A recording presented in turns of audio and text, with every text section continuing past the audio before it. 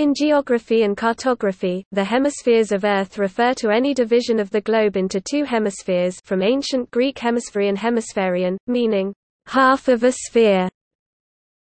The most common such divisions are by latitudinal or longitudinal markers. North-south.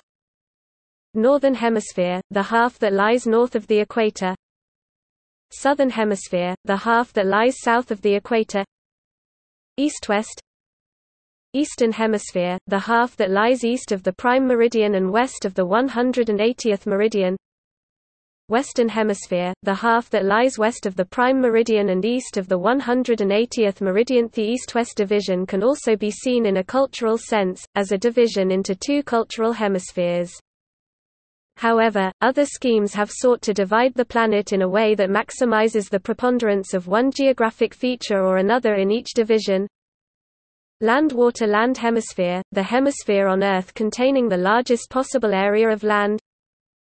Water hemisphere, the hemisphere on Earth containing the largest area of water.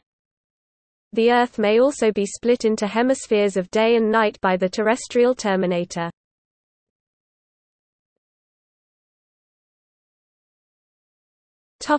See also.